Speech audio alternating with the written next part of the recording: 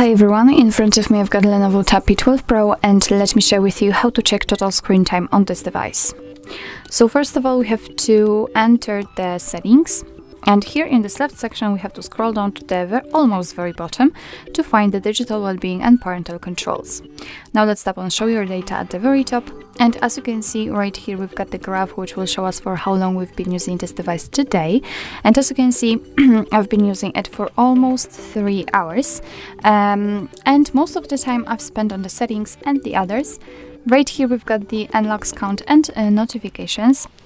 And basically, if you'd like to check some further details, you can either tap right in the middle of this graph or um, on particular app. So let me show you. Let's tap right in the middle.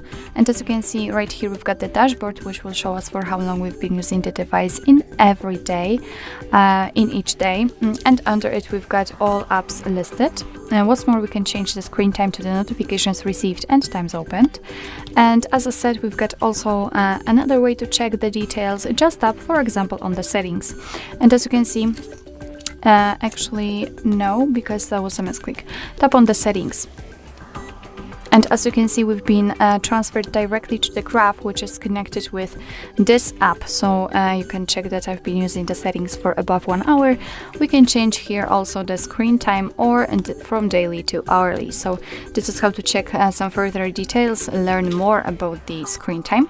Under it, you've got the ways to disconnect, which are quite cool option. So we've got the dashboard, bedtime mode and focus mode.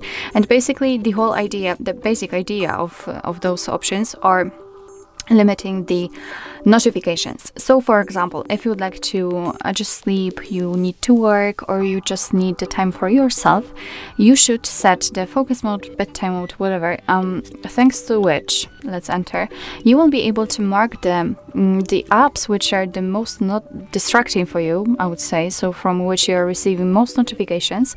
So let me pick, for example, randomly those for example something like that you will be able to set a schedule. So as you can see you can check you can check and pick particular days in which the uh, notifications will be uh, hidden and you can set the start and end time.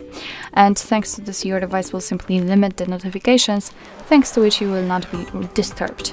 Under it we've got the reduce interruptions so we've got manage notifications and do not disturb mode which is uh, defaultly on the device. Mm, and here you've got the parental controls if you'd like to enter this option. So actually this is it, this is how to check total screen time in your Lenovo Tab P12 Pro. Thank you so much for watching, I hope that this video was helpful and if it was, please hit the subscribe button and leave the thumbs up.